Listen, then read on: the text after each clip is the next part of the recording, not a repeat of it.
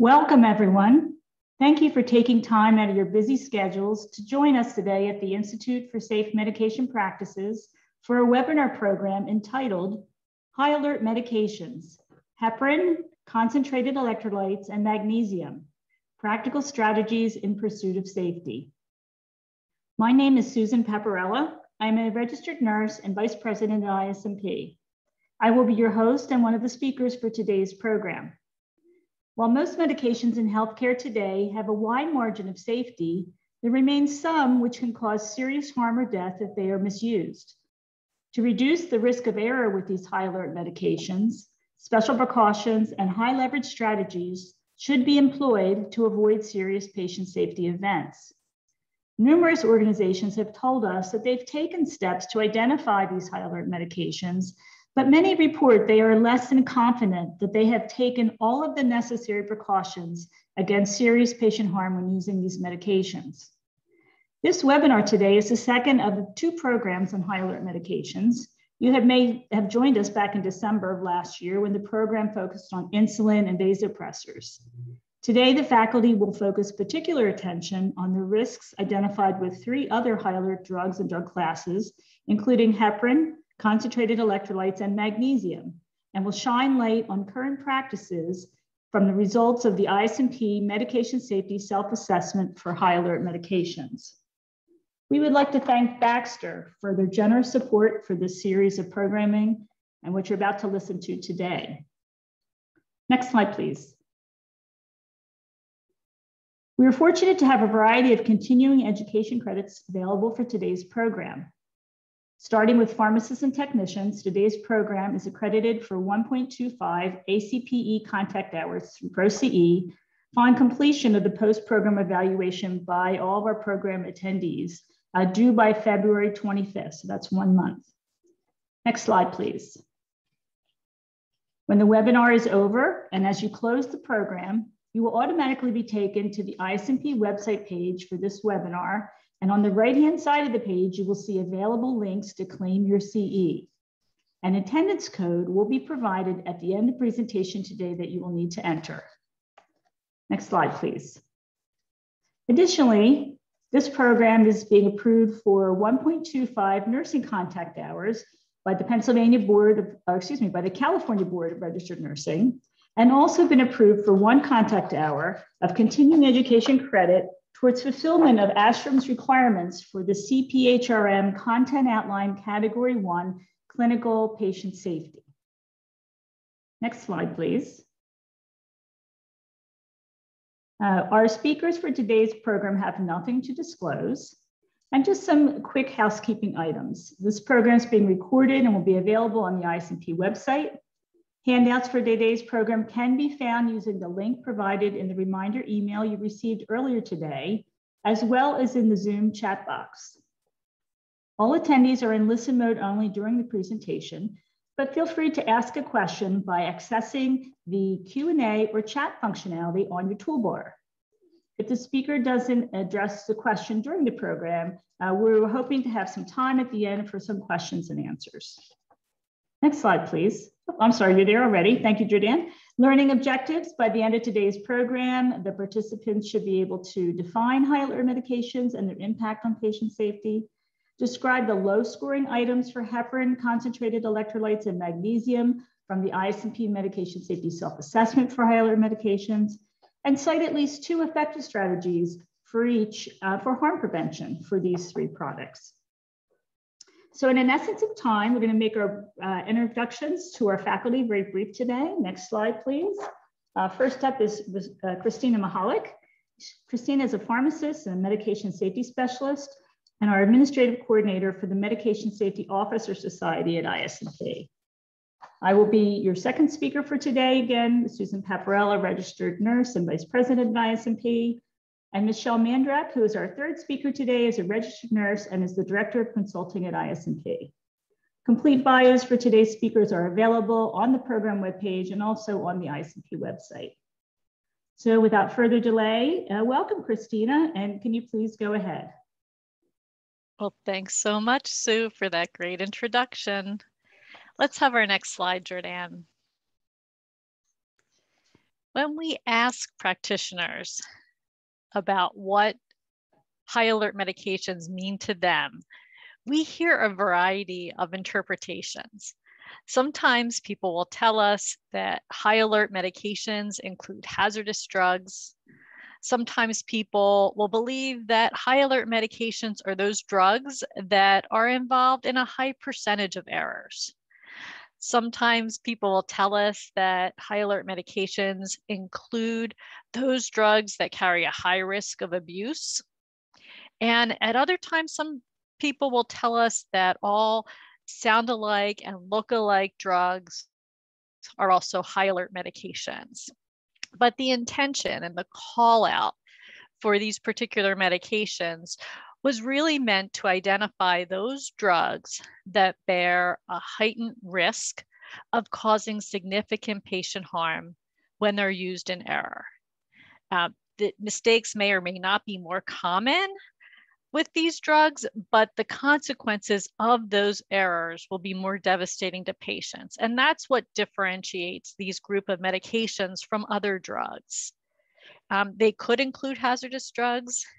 They could include medications that have high risk of abuse, and they might also include sound alike and look alike medications, but those were not the original targets for this list.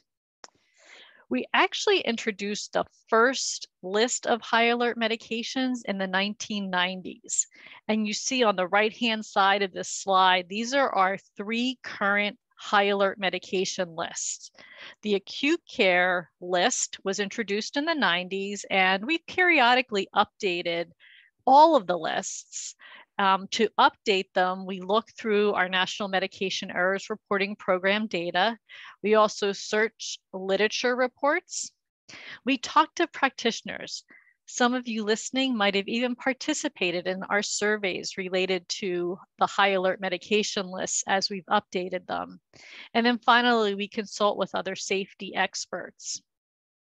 But in addition to the acute care setting high alert medication list, we also have a list that's specific to the community setting, the ambulatory care setting. That was introduced in 2008 um, and it was updated last year.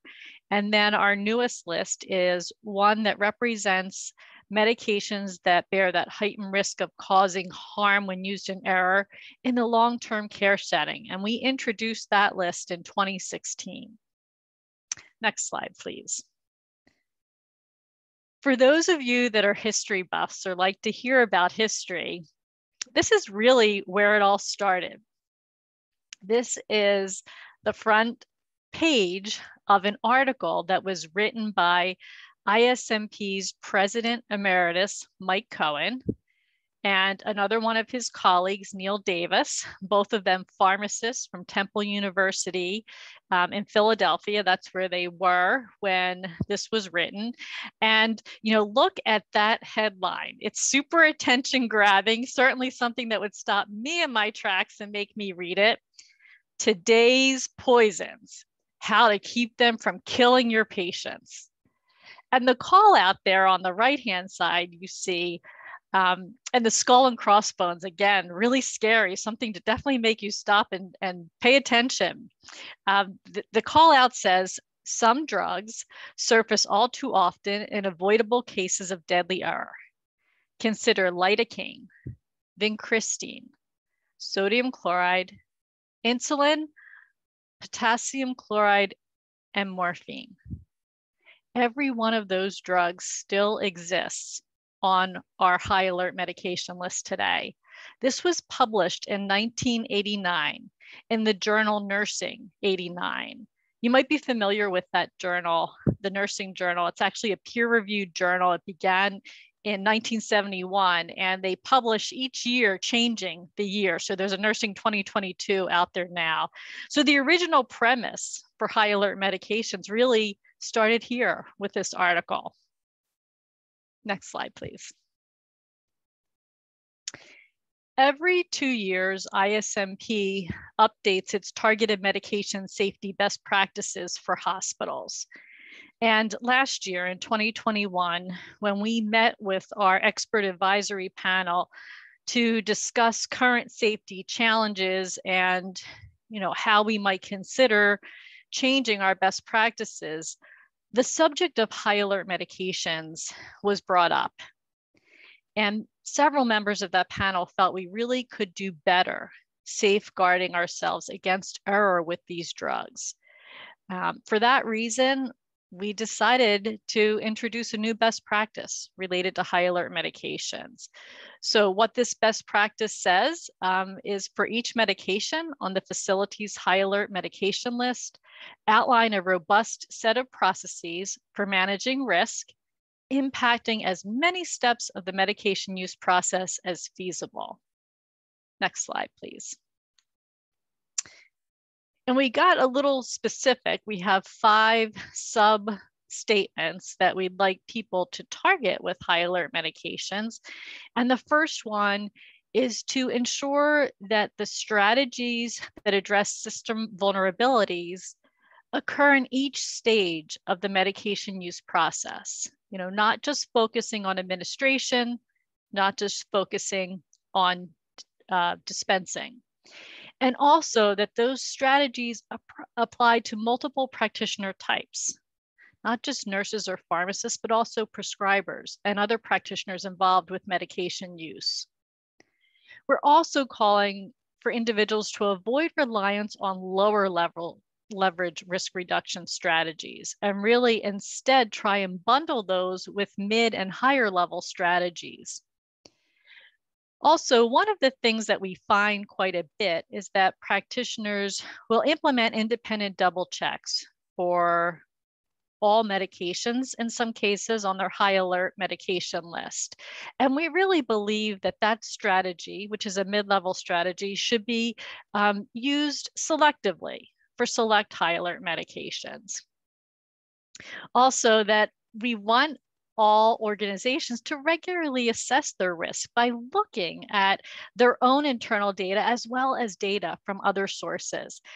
And then finally, as with any good uh, process improvement plan, measure your success. Measure, put in process measures to monitor safety and routinely collect that data to determine how effective your risk reduction strategies are. Next slide, please.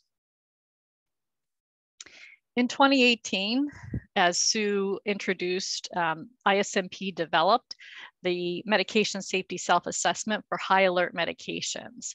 This was funded and supported by the US Food and Drug Administration.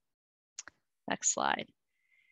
And the goals of this self-assessment were to assist providers to assess the safety of systems and practices associated with 11 different categories of high alert medications. And as Sue said, we're going to talk about three of those today with you, magnesium sulfate, concentrated electrolytes, and the anticoagulant heparin.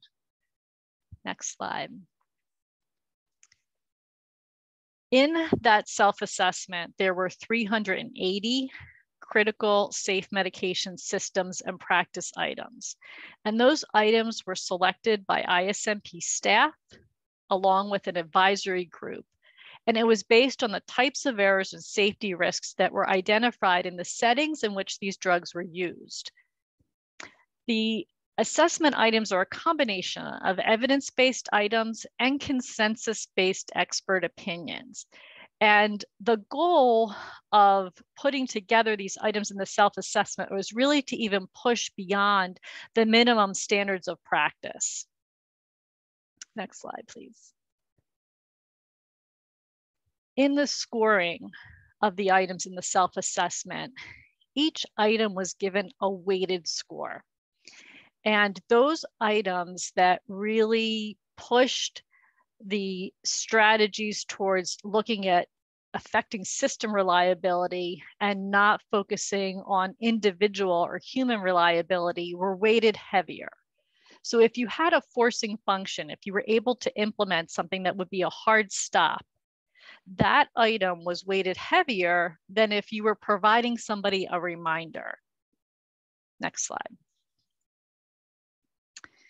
There were five categories for scoring, and this is very similar with all of our medication safety self-assessments.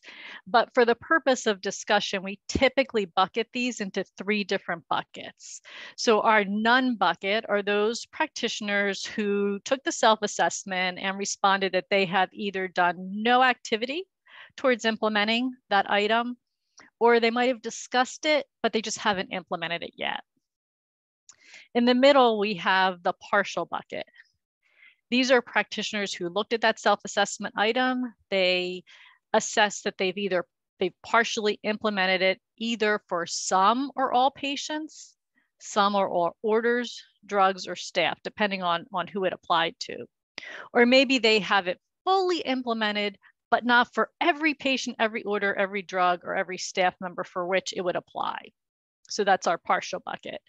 And then finally, the full bucket, those practitioners who looked at that item and their multidisciplinary group team members assessed that we fully implemented this for every patient, order drug, staff member that would qualify in this setting. So next slide. I'm going to take a deeper dive into heparin now and look at some of the strategies to more safely use heparin. Next slide, please. Uh, when you think about unfractionated heparin, when we're using it for treatment, um, the potential for injury can be high if we um, have errors, if we have uh, a subtherapeutic level, if we're therapeutic concentration in patients, we can risk having an embolism, we can risk uh, an existing thrombus uh, getting larger. Um, if we eh, overshoot, uh, if we have a super therapeutic serum concentration overshoot, we can risk bleeding in patients. Definitely standardization here is key. Um, most of these are protocol-based ordering. There's a lot of steps to these protocols. Achieving that ideal state takes a, a lot of effort. We're trying to coordinate uh, serum concentrations with dosing and dose changes.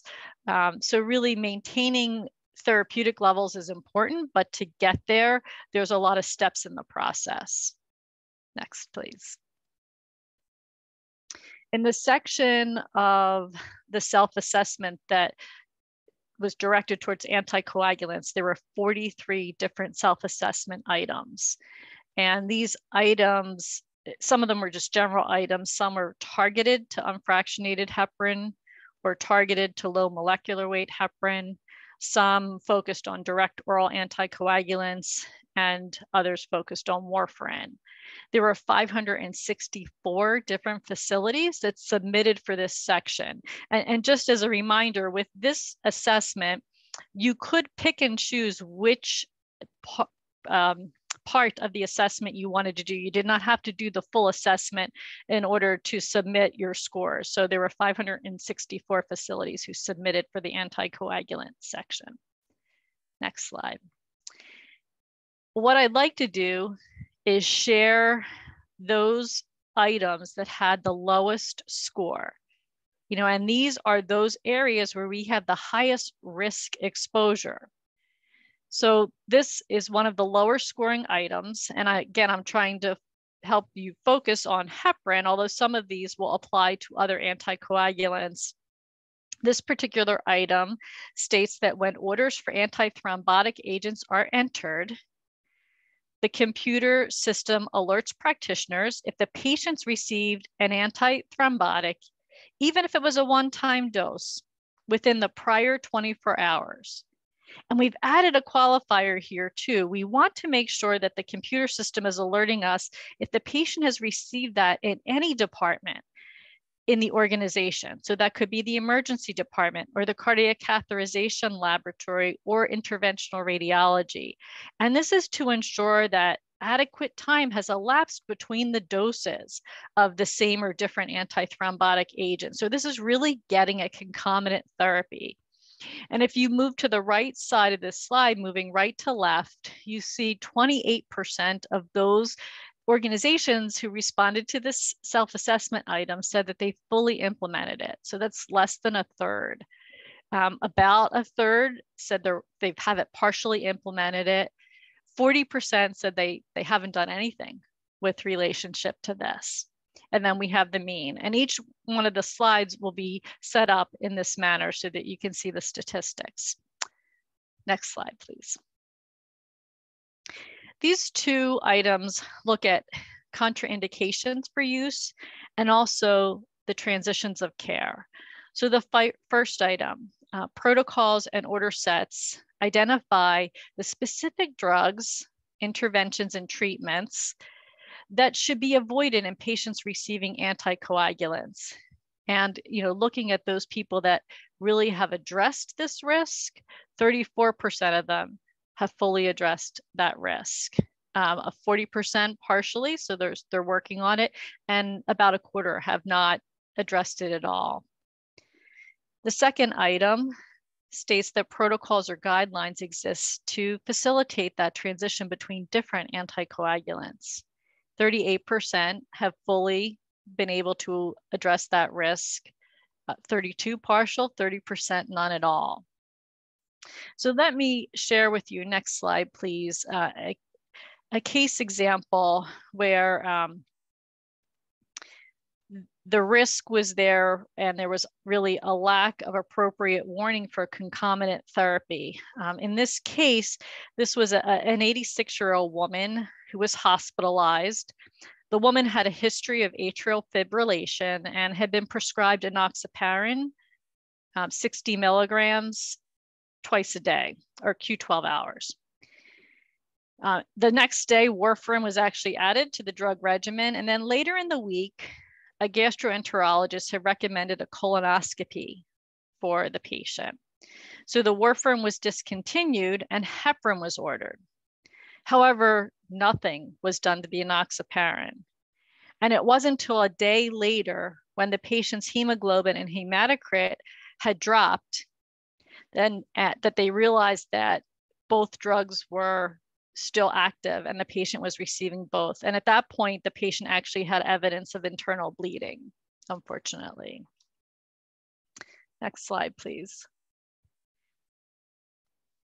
These three items speak to decision support, you know, helping practitioners to make informed decisions about the care of patients. The first item looks at um, the most recent laboratory value, and whether that is automatically displayed on the order entry system screen where practitioners place or verify orders for anticoagulants, certainly trying to alert them or show them what that value is and help them make an informed decision. 47% of those that responded said that they have this fully covered um, in their systems. 21% said that they have it partially addressed, and 32% haven't done anything with that at all. And a lot of times the barriers here are the electronic health record and people's ability to be able to activate some of this decision support. The second item, a standard reliable process is in place for screening patients who are receiving anticoagulations before invasive procedures um, whether that therapy has to be discontinued, what protocol and guidelines then define when they should be stopped and when they should be restarted. Um, this sort of gets a little bit more complicated and, and also introduces some of those risks when we have those handoffs in care. And 38% of the respondents have fully been able to implement that self-assessment item. And finally, uh, prior to ordering unfractionated heparin or using a heparin-coated catheter or, in, or instrument, there's a history of heparin-induced thrombocytopenia or allergy to heparin determined and documented so that the system is able to actually provide an alert to practitioners. And 57% of the organizations who responded to that said that they have that fully implemented. Next slide. And these two items are related. These address that heparin um, induced thrombocytopenia. And the first one, so we, we're talking about a patient here who has HIT suspected or diagnosed during their current therapy. And this first item is looking for a mechanism to ensure that all sources of unfractionated heparin and low molecular weight heparin are discontinued in this situation where HIT is suspected or diagnosed. And 66% of the respondents said that they fully implemented that. The second item in the same scenario is looking for a prominent entry placed into the patient's medical record to alert staff to avoid the administration of or exposure to heparin in, in any form, including those for used for arterial lines or catheter flushes or those heparin coated instruments or catheters. And 63% said that they have that fully implemented. Next slide. So I, I, would like to share a case example related to that as well. Um, in this case, a patient presented to an emergency department with a cardiac emergency, and they were started on an enoxaparin. Um, they were subsequently transferred to a different facility for a cardiac catheterization. And at that facility, the enoxaparin was stopped and they were started on heparin. It wasn't until the provider noticed that there was a significant drop in the patient's platelet count that the patient actually had a history of heparin induced thrombocytopenia. Um, so they were two different organizations, neither of which were able to achieve that self assessment item that I just discussed with you to alert these practitioners to that, that history and that risk. So um, I shared with you the self-assessment responses that got the lowest scoring um, responses in terms of full implementation. But we also know that unfractionated heparin carries risks based on event reports. And these are uh, some of the categories of that those risks. So we have seen bolus doses or adjusted rates not in alignment with protocols when using heparin infusion therapy. We've seen doses calculated using an incorrect or an inaccurate weight. It could be a stated weight, it could be an estimated weight. We've seen the wrong protocol followed. We've seen events where the heparin is restarted at the wrong time. We've seen providers from the very beginning part of the process order the wrong protocol on the patients. And then we've seen variations in interpretation and misinterpretation of protocols. Could be related to the draw time for labs. It could be related to when to start or restart therapy. Um, and it's also been related to what dose to select when restarting therapy. Next. And um, before I finish, I would also like to share where we're doing good. Um, these items were the highest scoring items in the anticoagulation section of the self-assessment, just particularly related to unfractionated heparin. And if you scan through these items, you'll see that we are doing good when it comes to stock, limiting the concentration of unfractionated heparin vials, or um, making sure that when we're using heparin flush that it's a commercially prepared flush syringe. We're also good at standardizing concentrations, standardizing concentrations for neonates, for pediatric patients and adult patients. And we're also doing good in using pre-mixed solutions of heparin infusion. Next. If um, anticoagulation or improving components to anticoagulation is an area of performance improvement for you. Um, we also have a second resource. This is a self-assessment that we've done prior to the high alert self-assessment, and it's particular to antithrombotic therapy. And if you want to dive in deeper, maybe you've done the self-assessment already, the high alert self-assessment. Uh, maybe you're in the process of looking at that and you want to take a deeper dive. This self-assessment has even more statements related to practices to avoid harm with antithrombotic agents. So with that, I'm going to call Sue in to take over. Great. Thank you, Christina. That was that was great. I really appreciate uh, you giving us that overview. So I'm going to continue now to talk about concentrated electrolytes.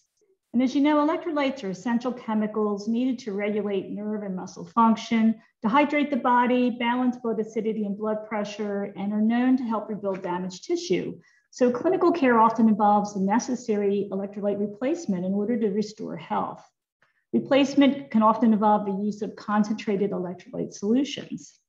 Uh, but what are these? So according to the Joint Commission, concentrated electrolytes are described as solutions that are manufactured and distributed with the intent of being diluted prior to administration. So we're not talking about those pre-diluted solutions, but those vials that must be diluted prior to administration. When we talk about concentrated electrolytes, many practitioners immediately think of potassium chloride concentrate. However, as you know, there are many other electrolytes that fit this bill, including 3% hypertonic saline solution, 23.4% sodium chloride solution, sodium bicarbonate 8.4%, sodium and potassium phosphates, and magnesium sulfate, which Michelle will talk about in just a few minutes. Concentrated electrolytes have been included in the high alert list from the very beginning, primarily because they're not, if they're not administered properly, either not properly diluted, misselected, or confused with other drugs, it can be almost clinically impossible to swiftly reverse the effects of that concentrated uh, bolus of solution, and thus death and serious injury and disability may result. Next slide. So in the ISMP medication safety self-assessment for high alerts, there was a section entitled concentrated electrolyte injections. And in this section, there were 26 items representing the best practices to manage these products. And as you can see here, these 26 items were divided uh, into nine items that considered the general electrolyte replacement therapy questions. And then there were items such as four related specifically to potassium chloride, seven for hypertonic sodium chloride greater than 0.9%, uh, three items for phosphates, both potassium and sodium, two items on electrolytes used with parenteral nutrition, and one item for organ preservation solutions. In this section, 544 facilities submitted results, and I'd like to share the highlights of these practices um, throughout the segment with you. Next slide. So this represents some of the lowest scoring general items in the concentrated electrolytes section of the assessment. And if you can look here at the first one, when we wanted to look at the number of organizations that had a system in place to proactively convert IV to oral electrolyte replacement therapy, you can see here that greater than 50% of participants reported that they had not taken any steps uh, to ensure that they had either a pharmacy managed or automated system in place to do this um, transition. Only 22% stated that they had fully implemented such a process. Less than a third of organizations reported that they had fully implemented any standard order sets to prescribe adult, pediatric, or neonatal electrolyte replacement therapy, and that these order sets included required patient monitoring. Only about 50% of organizations reported partial adoption of this practice. The next two items on this chart here represent lower scoring items in responses to a best practice item question about the existence of uh, items or elements within standard protocols for concentrated electrolytes. So for example, looking at how many times the protocols uh, mention patient monitoring being required as part of that IV administration replacement therapy. And only about 37% of organizations that reported uh, told us that they had that included in their, um, in their protocols. Uh, this would include routine monitoring such as continuous ECG monitoring, frequency of patient assessment, uh, serum electrolyte levels, and other laboratory monitoring as appropriate. And lastly, um, another element that we looked at um, within the same standard protocol section 2A was looking at maximum concentration and infusion rates for IV solutions, as well as concentration requirements for central line use. So we had 43% of participants that did not have any of this as part of the requirements or only partially implemented the safety practice. Um, certainly believing, um, leading us to believe that there's an opportunity to improve the safety of these electrolyte replacement protocols. Next slide, please, Julianne. So let's spend a few minutes now um, talking specifically about um, some concentrated electrolytes, uh, the first being uh, concentrated potassium chloride. Next slide. So as you know, ISMP has been long concerned about the handling and use of concentrated potassium chloride. Some of the work goes back as far as 1987, where we were involved in a national meeting with the USP and the US Food and Drug Administration uh, trying to make sure that we could call out um, the differences that need to occur so that these vials were not mixed up in practice. And uh, that resulted in these potassium chloride concentrate injections having black caps and uh, specific warning statements, again, to uh, prevent this mix up with other parenteral drugs. But as you may recall, if you've been in practice for a while, that although some of these changes occurred, potassium chloride vials at that time remained on the nursing units and continued to be involved in fatalities. Um, in the 80s and 90s, ISMP, USP, the Joint Commission, and IHI uh, worked very hard to draw attention to this, uh, what we thought was um, a, a, challenge. We uh, sent a bold, uh, sent a, a um, letter out, a nationwide mailing to US hospitals strongly recommending the removal of potassium chloride from patient care areas. And with some um, help with some of the, um, the medication safety alerts that came out and the first Sentinel Advisory in 1998 from the Joint Commission, uh, we were able to um, uh, pivot and uh, really make that change a reality. Uh, as you know, uh, keeping those concentrated electrolytes off the clinical units uh, was expanded in one of the first national patient safety goals for the Joint Commission and continues to this day to be addressed in medication management standard MM 0.03, 0.01, 0.01, element of performance nine. Uh, this change in expectations about limiting access and the adoption of commercially available pre-mixed potassium replacement fluids has had a significant impact on the preventable deaths from concentrated potassium chloride vials. Next slide, please. So, um, you know, before we um, tout our, our, success too much, we have to really recognize that we're still vulnerable um, to these types of errors. Uh, in June of this past year, we reported on how easy it was for this risk um, to still uh, reappear. Uh, we had a report of a patient in the ICU who experienced a cardiac arrest uh, because this patient had a contagious infectious disease, not COVID 19. Um, but because of the potential for staff exposure, there was a limited uh, code response of just a few individuals, but included an, an experienced intensivist, an experienced ICU pharmacist, a nurse fellow in training, and their preceptor.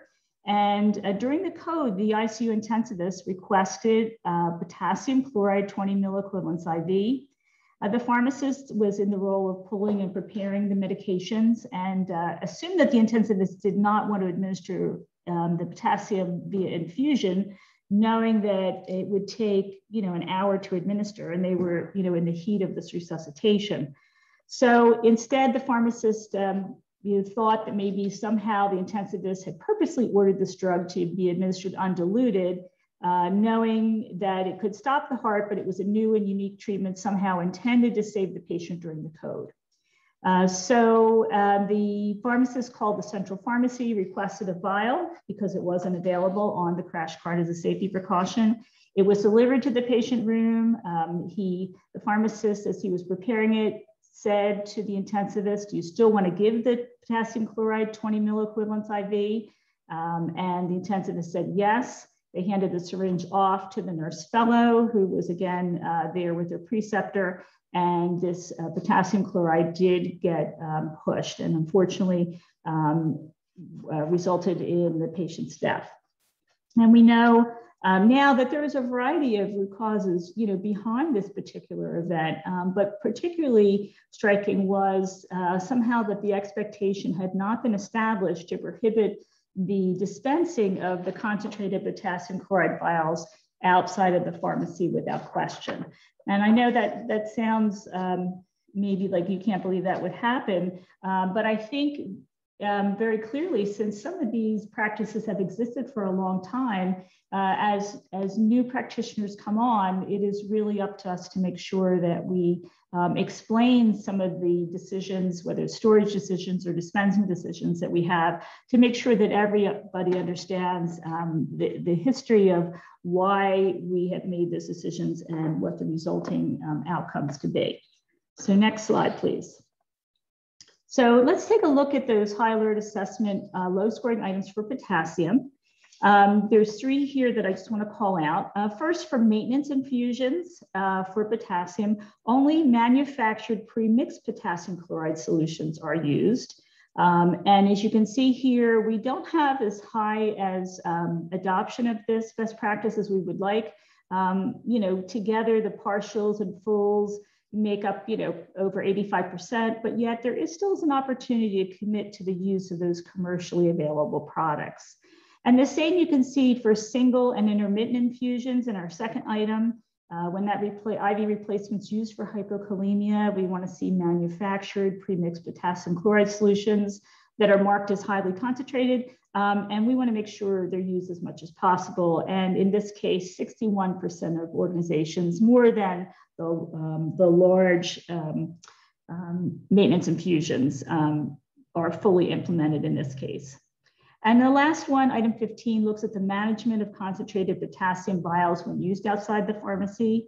Most often this involves the use of these vials for cardioplegia, such as an, open heart case. Um, ideally, we would recommend, even before sending vials, the use of a commercially available or pharmacy manufactured solution for cardioplegia. But um, if they do need to be sent uh, to the unit, that these vials are sequestered in sealed kits and only removed immediately before use. And we can see here that 76%, pretty high, have now implemented uh, this practice.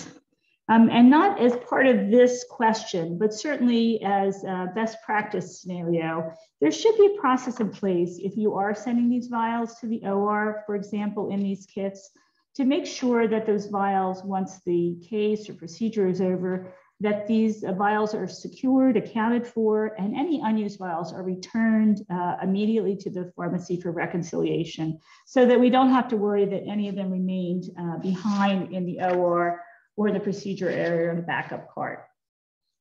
Next item, please. Uh, so in summary for injectable um, potassium chloride recommendations, you know, you understood most of these already. We're limiting access to these products, um, storage and pharmacy only, sequestering them as much as possible. And you take the time to ask your staff, um, give them the scenario to see if during an emergency or a code, anyone uh, might um, decide that there could be opportunity to dispense a vial outside the pharmacy. It, might uh, surprise us to see if that possibly could still happen. Uh, we want to make sure we limit compounding, uh, use pre-diluted standardized solutions as much as possible, avoiding those custom compounds that cannot be purchased. We want to enhance the use of automation and workflow system for compounded electrolytes and potassium chloride and prepare those in the pharmacy um, as much as possible so you can acquire those redundancies of those critical um, checks along the way. We want to make sure that, again, even in pharmacy, we're sequestering and storage and making sure that we're avoiding any possible storage in open ADCs, matrix drawers, or towers. And if you do have to uh, distribute outside the pharmacy, make sure that you're using some proactive thinking, some failure mode and effects analysis to really identify and uh, acknowledge if there's any risk that exists. Next slide, please.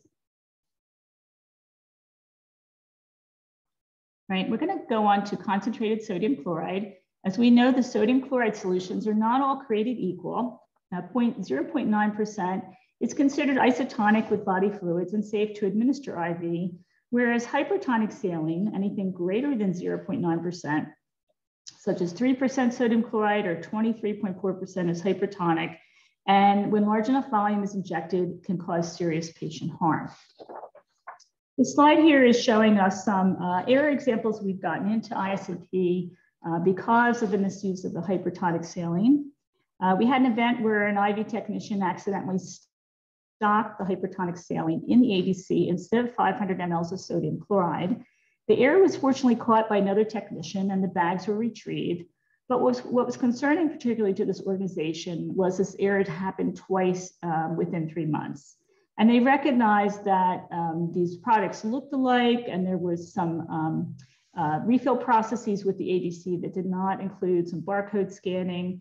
And uh, they wanted to make sure that uh, everyone knew about the risk associated with the way that this process worked. Um, so they had some um, work to do to um, try to resolve that. In another event, a drug shortage of 3% solution resulted in a pharmacy um, preparation, um, what they described as on the fly, using an automated compounder.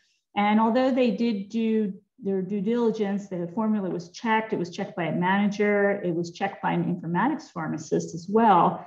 A mathematical error resulted in a 6% product that was labeled as a 3%.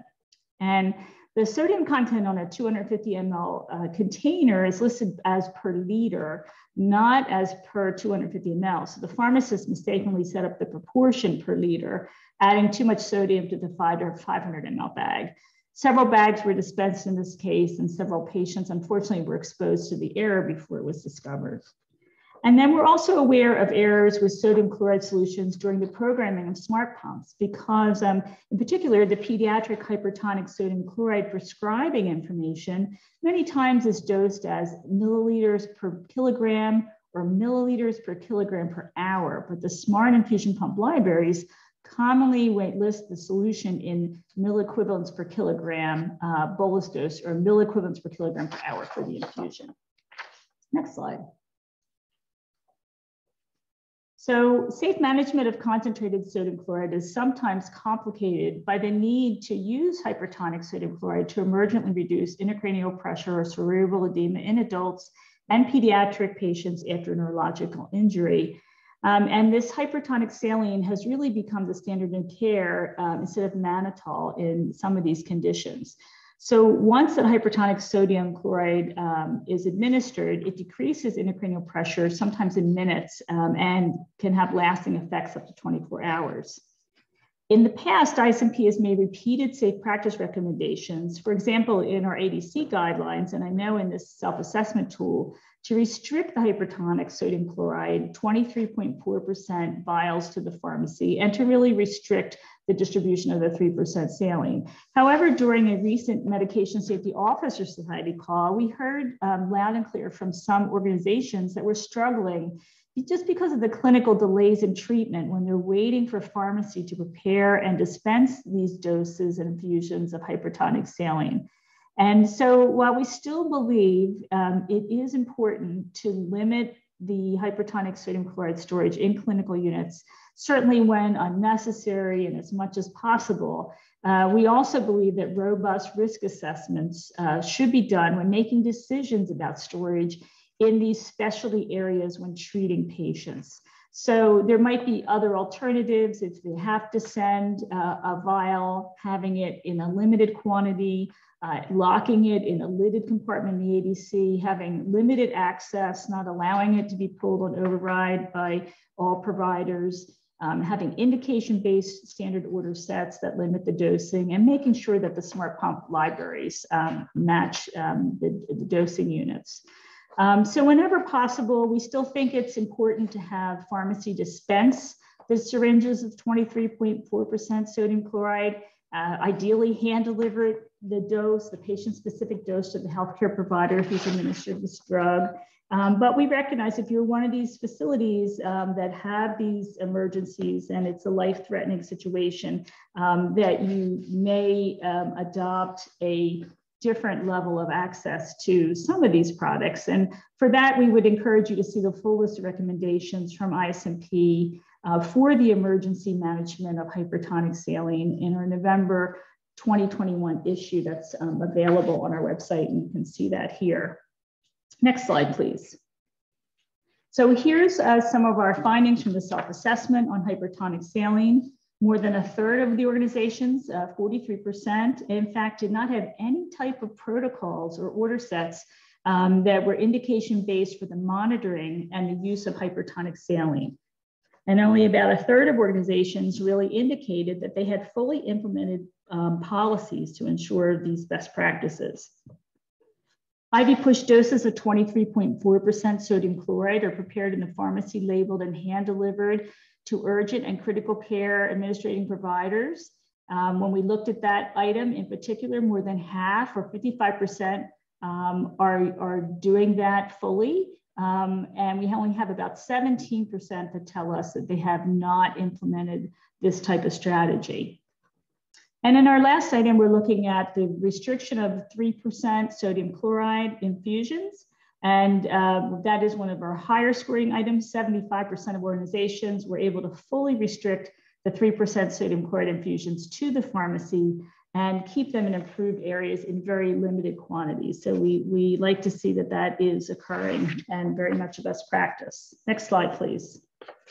So you'll see that these recommendations are very similar, uh, very much in fact to those that were put into place for concentrated potassium chloride. We're talking about limiting access to the pharmacy and avoiding um, only having special um, storage, uh, special circumstances where storage may be uh, allowed in the clinical areas, um, but then there's other strategies that are put forth along with it.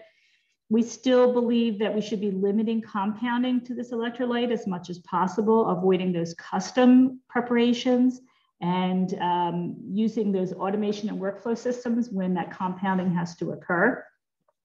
If any formulations have to be set up, we'd like them to be set up ahead of drug shortages as much as possible, ahead of that emergent need. And sequestering that sodium chloride in storage to avoid misplacement in stock, again, avoiding those open matrix drawers, the ADCs and the towers, and requiring barcode scanning and smart infusion pump use um, so that we make sure that those dosing units um, are in alignment with the orders and the EHR. Next slide. In our last section, we're going to talk about concentrated phosphates, both potassium phosphate and sodium phosphate. Events with phosphate containing products have been reported to ISMP for years and typically involve the lack of recognition of the associated potassium or sodium content. Um, this uh, issue that I'm showing you here goes way back to 1996, where we reported on a 71 year old patient who came to the emergency department with AFib and hypophosphatemia. And at that time, one amp of phosphate was prescribed. Obviously, um, at this time, the patient, the hospital did not have a 24-hour service, so this involved a nursing supervisor who retrieved a single vial of potassium phosphate from the pharmacy. Um, the vial and storage bin cautioned that dilution was necessary, so the nurse diluted it in 15 mLs of normal saline and administered at a rate of one milliliter per minute.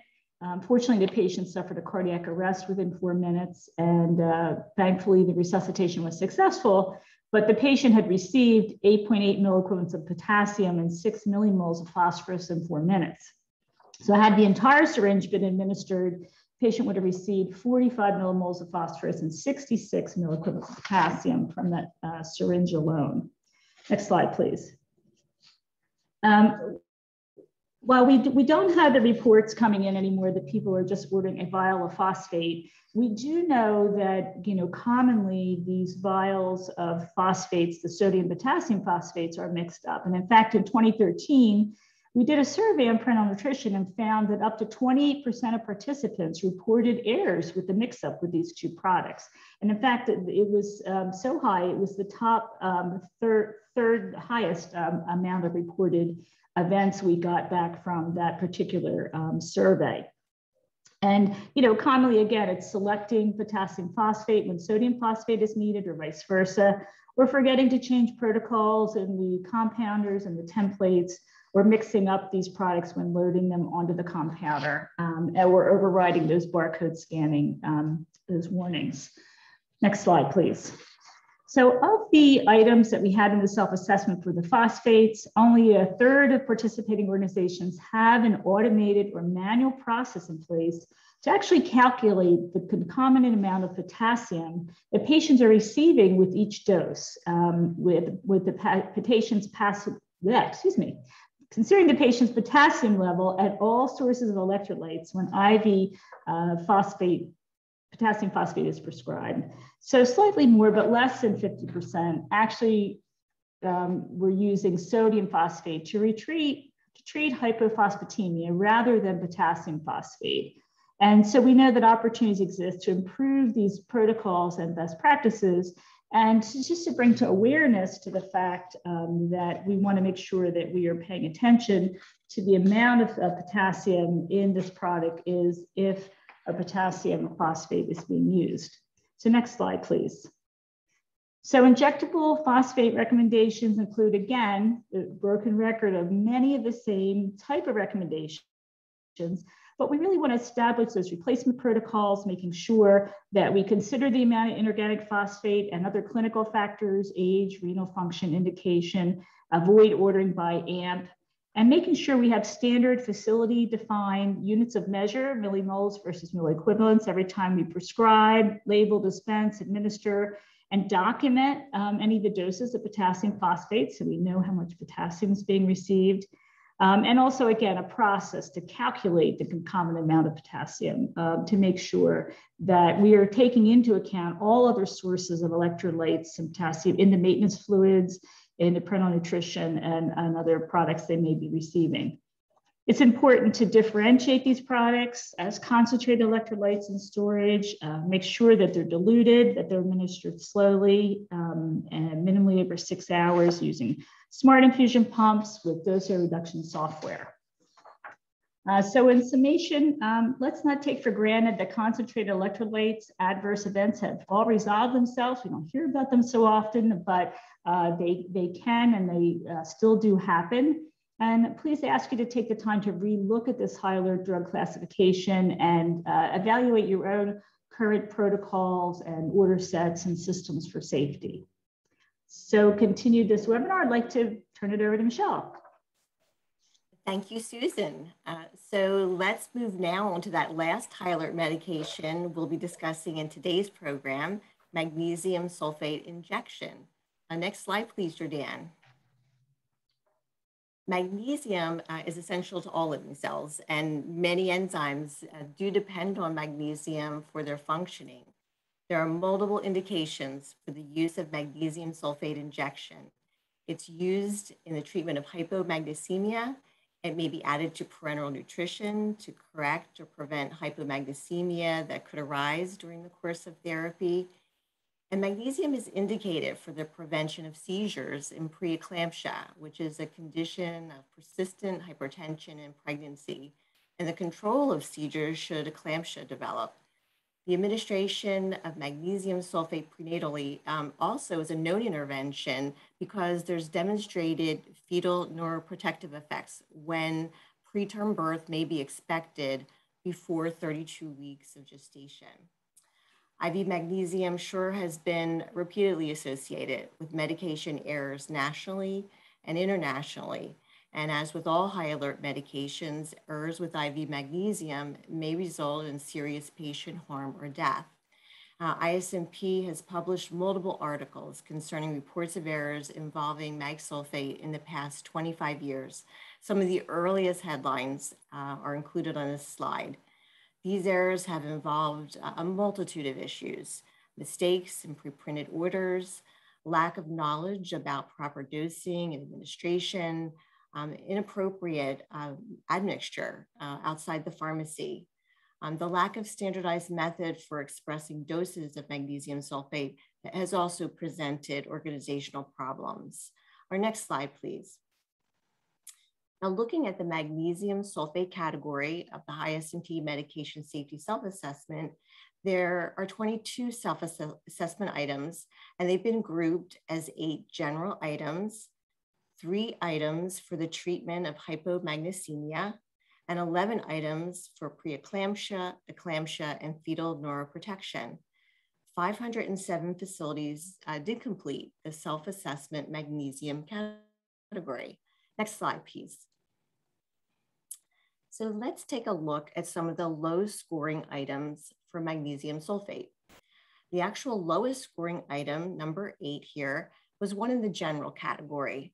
And this concerned the very fundamental establishment of a standard protocol for the administration of the rescue agent, uh, calcium uh, gluconate. Um, this would be in situations uh, caused uh, by magnesium overdose. Uh, these would be emergency situations and the prescriber would be notified. Um, this self-assessment item also included the provision that this rescue agent had to be readily accessible with those directions for use in any clinical area where high dose magnesium sulfate was to be administered. As you can see, only 27% of responding hospitals have fully implemented the safe practice, while 43% have not yet um, implemented the safe practice to this time. Um, the second item, this was in the hypomagnesemia category. Um, this concerned assessing the patient for signs of toxicity at defined intervals. Uh, again, here a low scoring item, 28% of responding hospitals had gotten to full implementation. Pretty impressive that 35% had not adopted, had not moved forward yet um, with this safe practice. And then in between, almost across the board here, 38% with partial implementation. Um, next slide, please. Now, these items on this slide all relate to the hypomagnesemia category. Item nine, only 40% of the respondents had fully implemented magnesium sulfate replacement protocols. These would be for the prevention and treatment of hypomagnesemia. 27% uh, had yet to take steps to create, uh, create these protocols, while 34% had partially implemented them. Item 10 involves the use of standard order sets. Again, uh, a pretty foundational safe practice for the treatment of hypomagnesemia, uh, fully implemented by 42% of respondents. Again, a significant uh, percent, 26%, had not yet begun to implement order sets. And then in terms of detecting signs of toxicity and determining the effectiveness of the treatment, 36% of hospitals had uh, fully implemented this safe practice. 45% were in the middle, um, had begun this work, and then 19% had still not taken action on this item. Um, this work also was to include the monitoring of magnesium blood levels, serum creatinine, and clinical patient assessments, again, at established um, intervals for assessment. So let's go to the next slide, please. Low scoring items associated with preeclampsia. I want to share two here. Um, the practice of immediately disconnecting the infusion bag when the magnesium is temporarily stopped. We're not talking about during a, a patient gown change, something um, of that nature. But when the infusion was to be paused, um, organizations were disconnecting it 54% of the time, while 26% had partial implementation. This one, you know, we know we have work to do on. And then, uh, although still among the lower scoring items, you can see item 16, um, more progress has been made in the use of the 20 gram per 500 milliliter bags of magnesium sulfate for the treatment of preeclampsia. Um, we would like to see this infusion bags uh, concentration used instead of the 40 gram per liter bag. And this strategy will help to limit the amount of drug the patient could receive should an error occur. Uh, it also serves to differentiate magnesium sulfate from other infusions that may be in liter bags, such as lactated Ringer's, or on the next slide, um, in this case, potassium chloride. So in this event, an emergency department nurse received an order for a liter of 0.45% sodium chloride with 20 milliequivalents of potassium chloride. So the nurse went to the automated dispensing cabinet, retrieved the bag, administered the infusion. During the infusion, the patient's now beginning to seize and went into cardiac arrest. Uh, fortunately, the patient was successfully resuscitated, but while investigating the cause, what had occurred in this reaction um, there was found to be an inc incorrect um, IV bag. So the nurse stated that he had taken out a liter bag of fluid with red letters on it from the ADC and, and hadn't realized it was actually a liter of magnesium sulfate 40 grams. So the pharmacy staff had recently added the 40 gram magnesium sulfate bags to the ADC in response to an ED staff request. So of course, in the uh, shuffling of the ADC stock in the cabinet to accommodate this request, things got moved around. And the magnesium sulfate bags were actually in the same space that had previously held the 0.45% sodium chloride injection with the 20 of potassium chloride. Next slide, please. So the medication safety self-assessment data uh, certainly did also reveal ongoing opportunities with the programming of magnesium sulfate infusions in perinatal settings, uh, particularly with the programming and the administration of the magnesium loading dose. And, and this is also very familiar to ISMP um, in, in, our error reporting program and, in our past work with the ISMP um, development of the smart pump guidelines. Um, this, self, this particular um, item from the self-assessment is looking for the provision of loading doses um, to be administered by trained staff. Um, if you're going to use the maintenance infusion bag to administer that loading dose, make sure it's on a smart pump uh, with a dose error reduction software and, and that feature, the loading dose or bolus dose feature, which is automatically going to either start or resume the, the maintenance infusion at the prescribed rate um, once the loading dose is infused. The intent here also is that the loading doses, as, as well as continuous infusions, are never going to be administered as a basic infusion outside the dose error reduction system. So although this item does have a mean score of 85% implementation, um, still we have some ways to go. 15% of respondents have either not uh, implemented or partially implemented it. And ISMP, as I mentioned, continues to receive error reports with the administration of magnesium sulfate infusions in perinatal settings. Uh, next slide, please. So for example, in this event, a 30-year-old female is presenting to triage in labor and delivery, 24 weeks pregnant, having complaints of cramping, abdominal pain, vaginal bleeding. And upon exam, the patient was found to be in the early stages of labor. So, you know, certainly an urgent situation. Um, so, an attempt to stop this labor, an intravenous infusion of magnesium was prescribed. The order was for six grams to be given as a bolus dose, and then follow that with the continuous infusion of two grams per hour.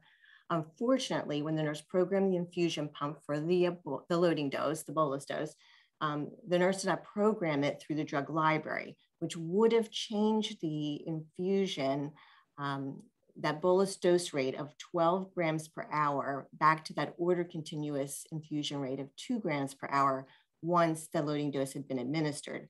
Um, instead, the nurse set the dose to run as continuous rate of 12 grams per hour, wanting to infuse six grams in a half an hour, and intended to get back to that mother's room um, at that anticipated time. And of course, we know like that that did not happen. Um, and of course, then the patient begins to experience some evidence of magnesium toxicity is having difficulty breathing, pressure drops, becomes unresponsive.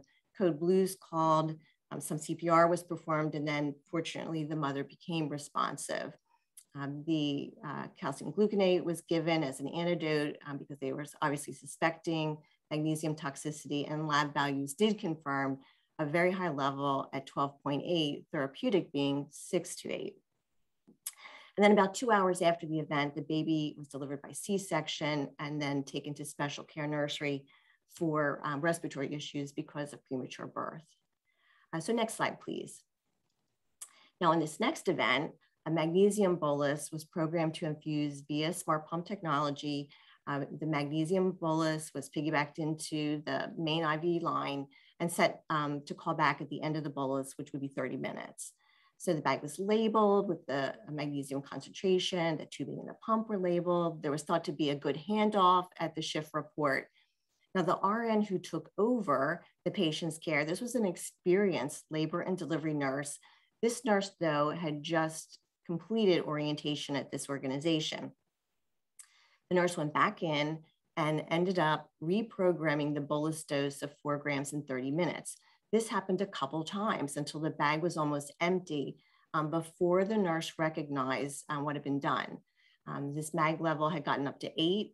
Um, and this type of event certainly points out the need to evaluate staff competency uh, with the use of smart pump technology in the programming, particularly of these loading doses from the continuous bag um, through that drug library.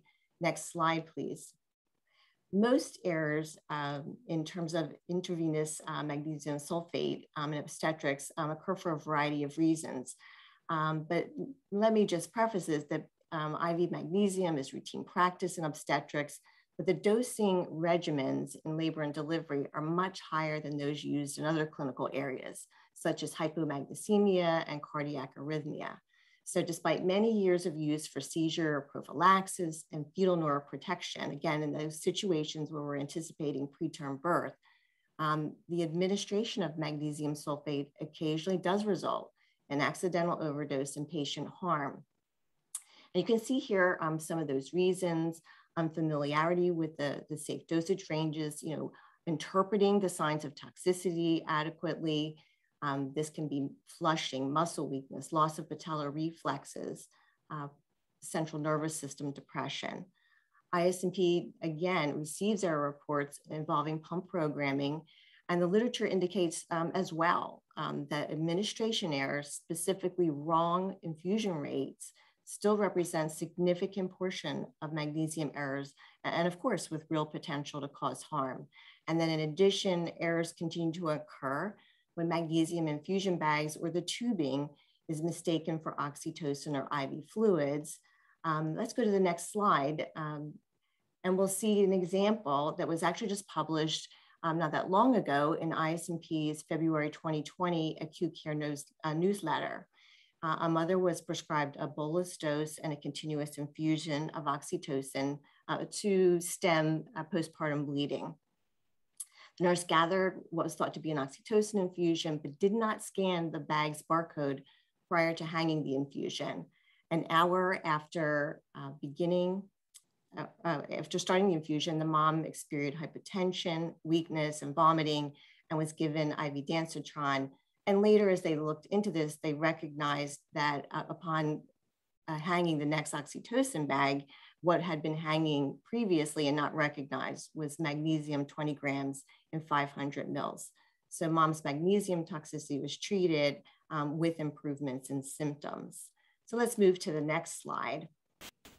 And here's a case where um, a mistaken uh, uh, opening of the magnesium that was piggybacked into um, the fluid bag was run wide open when there was an order to provide a fluid bolus. So um, the magnesium infusion that had to be discontinued, fortunately, um, this was discovered there was no adverse outcome to the patient. And let's go to the next slide. We, I sure want to mention a few high scoring items. Um, we've known um, over the years that a lack of standardized method for expressing doses of mag sulfate has presented significant risks um, in its management. Uh, in the official packaging labeling of magnesium sulfate, um, there's six designations, percent, milligram, gram, milliliter, milliequivalent, and milliosmoles. So on the right, you can see that there can be numerous methods for expressing a magnesium sulfate dose rate with the potential for mismatch between prescriber order and the units in the smart pump drug library. And because there are so many dosing expressions, it can be difficult to recognize excessive doses. But the good news from the self-assessment here is that we have high adoption of standard dosing units for both adults and pediatrics, as you can see on the right. And then we'll go to the next slide, please. Um, also, um, an important um, item that responding organizations also scored high on was the use of commercially available premix bags of magnesium for all loading doses. Uh, so that would be the mean of 98%, and the mean for maintenance infusions was at 94%. Certainly a very high leverage safety strategy and eliminates the need for preparing magnesium sulfate on patient care units. And this also has implications for pharmacy practice as well to hopefully stem the need for pharmacy uh, um, compounding of these solutions.